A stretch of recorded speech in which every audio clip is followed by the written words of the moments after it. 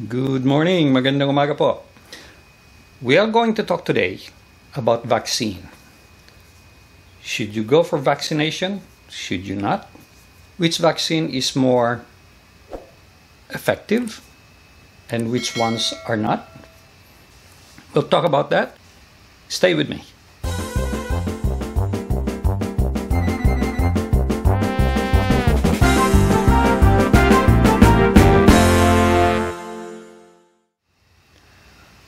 I received an email from one of my viewers, and I'd like to show you what he said. It says, I work for Stanford University, and I thought I would share this article with you to enlighten the people in the Philippines.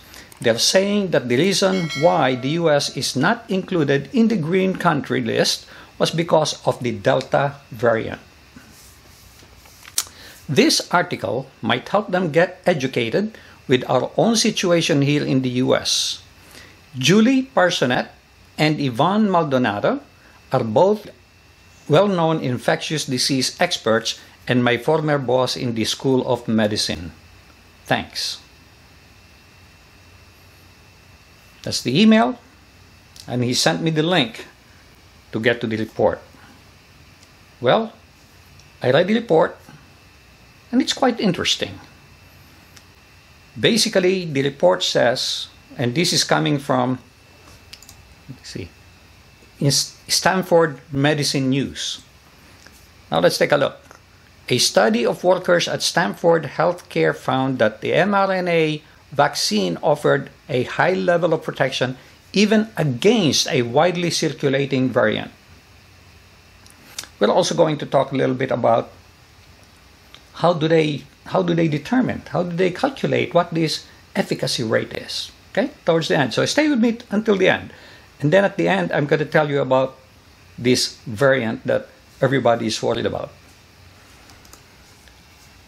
More than 99% of Stanford healthcare employees resisted breakthrough infections after receiving at least one dose of an mRNA based vaccine for COVID 19. Between December 18, 2020 and April 2, 2021, so this is very recent, at least 23,090 employees at Stanford Healthcare received one or two doses of Pfizer or Moderna. So it's either Pfizer or Moderna. I guess they were given the choice. Of the vaccinated individuals, 189 tested positive for COVID 19 or 0.8%. Now, keep one thing in mind. After you get the vaccine, it doesn't necessarily mean that, ah, there's no way you can be touched, there's no way you can get this or that. No, no, no, no. It reduces the risk of you getting it. And even after you get it, it mitigates the ser- seriousness of the situation. In all likelihood, you will not be hospitalized and definitely you will not die. Whereas if you don't have it, very serious. Don't expect vaccine to solve 100% of the problem. Some people say, oh, I'm not going to get vaccinated. After vaccination, they still get this and that. And no, no, no, no. Those are very, very little. Those are minute. And I'm going to show you the result of this test. And this just happened up to April 2nd, 2021. Just what? Two, two months ago or so. By contrast, at least 660 of approximately 6,910, nearly 10% of unvaccinated workers became infected with coronavirus. Hmm. so those who got inoculated, 0.8%, and those who did not, 10%. That's a big percentage difference. They further analyzed the 189 who were tested positive. Now, this is going to be a little bit complicated, but then towards the end here, I mean, at the bottom, I'm going to show you a graph that will help illustrate the point.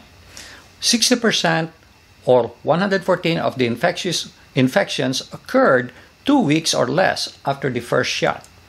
An additional 26% or 49 people emerged more than two weeks after the first dose and less than two weeks after the second dose.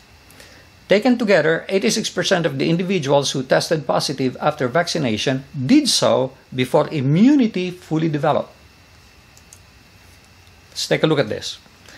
You get the first shot on day one.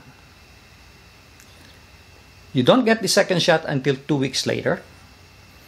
And they say that it does not get fully effective or active until two weeks after the second shot. Of the 189 that we're talking about who got COVID, 114 of them was during the first two weeks. You were already told you get vaccinated today doesn't mean oh you're immune right away. No, no, no. It takes two weeks. So 114 got infected. After the second shot, two weeks later, another 49 people was infected. And then after four weeks, that means from the very beginning, two weeks, two weeks, so at the end of the four weeks, after the four weeks, 26 infection. So that is the breakdown of the 189. First two weeks, 114, second two weeks, 49, and then 26. So you can see that it's progressively getting more and more effective as time goes on. So that's the makeup of the 189. The percentage 60% these first two weeks, 26% second two weeks, and only 14% during the last after the four weeks, four week period. Now, that's percentage of the 189. Now, what is that as a per- percentage of the total? Of the 23,090, that's only 0.5% the first two weeks. Again, it's not effective yet. Then Second shot, becoming more effective, 0.2. After that, it's only 0.1%. Very important, okay? Now, would you rather take 10% chance of getting COVID or 0.1%? I guess that's a question you will have to ask. Ooh, that's what? That's 100 times greater than if you got the, the vaccine. Now, this is what they say. Uh, this is the published efficacy rates. Okay, again, I got this from the material posted down below. You can go ahead and take a look at it if you want to read it. Pfizer is 95%, Moderna is 90%, Johnson & Johnson 72%, AstraZeneca is 73%, Novavax is 90%, Sinovac is 51%. Now, this test done by Stanford University or medical school is combination of Pfizer and Moderna. So they were injected with Pfizer and Moderna. So we will look at this as a group. So this is what what we're going to talk about is not efficacy of Pfizer or Moderna. It's combination of two. This is how efficacy rate is being calculated and almost everything that I have seen does it this way. They said they look at the vaccinated ones, 23,000 people, 189 got infected or 0.819%. Okay? Unvaccinated, 9.551%. Then you divide 0.18, 0.819 uh, by 9.551 and you come up with 0.086.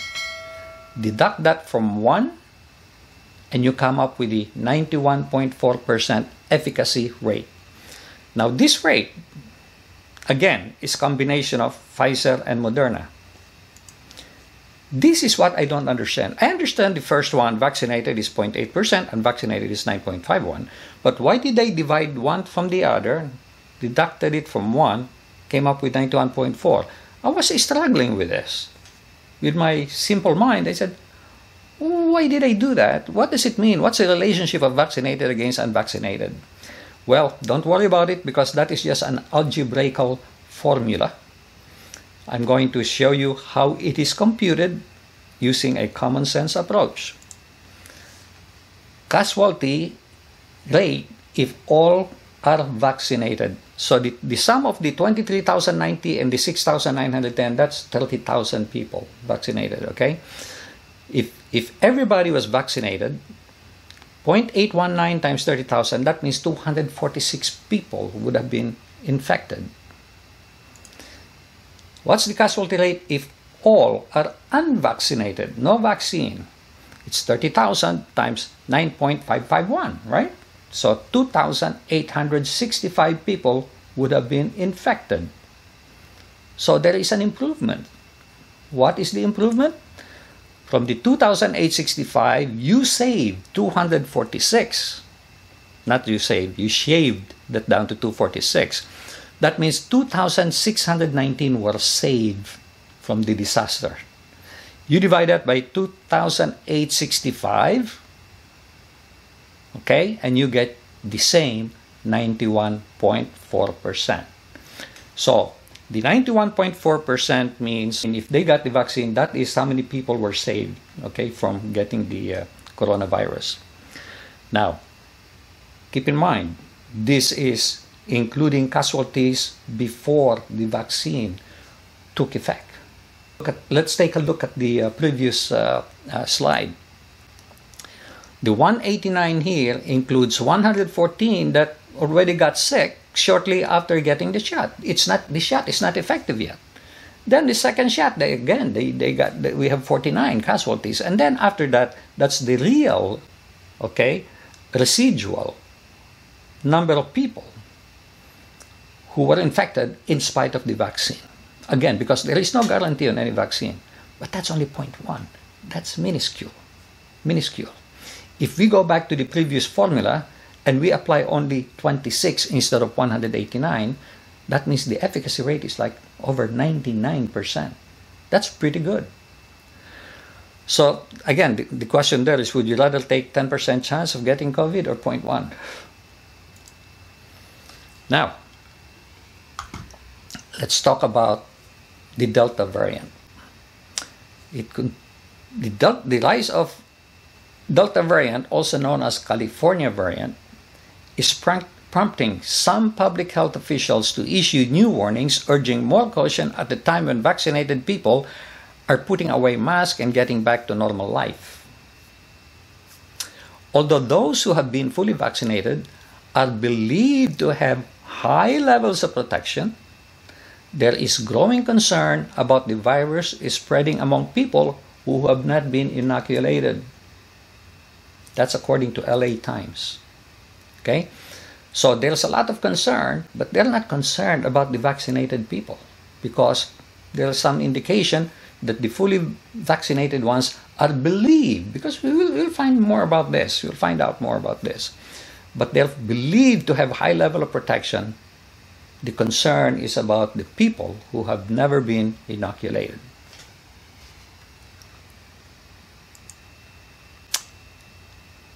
Evidence, this is again from Stanford uh, Medicine, evidence from clinical trials has suggested that Pfizer and Moderna vaccines are approximately 95% effective at preventing COVID 19. During the new study, a variant called B1 blah blah blah or epsilon was rapidly spreading in California and becoming the dominant virus in circulation but the researchers found no evidence that the mRNA vaccine are less effective against the epsilon variant. Approximately 40% of healthcare personnel who tested positive for coronavirus had this variant, regardless of whether they had been vaccinated. The similar proportion of variant among vaccinated and unvaccinated individuals suggests that the epsilon variant is no more likely to break through vaccine protection. So there is all this concern about the Delta variants, I mean variant. But as research shows, again, this is continually being monitored and being researched. There are indications that those who have been inoculated also has the protection for the same. Their concern is for people who have not been inoculated because because this variant is not necessarily more dangerous but it's more contagious. It spreads more rapidly than the previous variant. So, guys, the question I will ask you is this Should you be inoculated or not? I'm receiving a lot of uh, comments from people who is it's very obvious you're attempting attempting to scare people and say, "Oh, don't do that because they will change your DNA uh, if you are a woman, you will no longer have a child, or you may no longer have a child. You will not see the effect until maybe 10 years, 5 years, 10 years from now. Oh, don't don't do that because they will put a chip in your uh, body. Uh, the, the other one is uh, oh you can get a magnet and put it here and you will see that it, there, there is there is a metal there that goes into your body it's so ridiculous fake news scale mongering. don't listen to it the best thing to do is listen i mean if you have an allergy i can understand that don't take it okay because if you're allergic to all those vaccines and sensitive to medicine or whatnot you have a reason to be worried about it and not take it. Uh, if you consult with a doctor and you have some condition that makes it dangerous for you to take it, don't take it. But if you're just scared because of everything you're hearing, don't worry about it. Don't get scared. Now, if uh, you're worried because you're scared of the needle, just like me, a few years ago, believe it or not, I was scared of needles. I will not go to the doctor for me to get my blood test unless my wife is with me holding my hands. how silly is that? Well, several years ago I learned how to do it on my own. So, but I can understand people, especially men, who are scared of needles. Don't get scared because it's, scarier if you run this risk. So the uh, vaccine, I'm convinced, is more effective than what people are really talking about or saying. I'm not a doctor. I'm not a scientist but I have judgment. And that's all you need to use when it comes to this. Listen to people and see which one, try to screen out or filter out which one is fake news, which one is false, which one is not. Now, there is no doubt in my mind that the coronavirus deaths are exaggerated.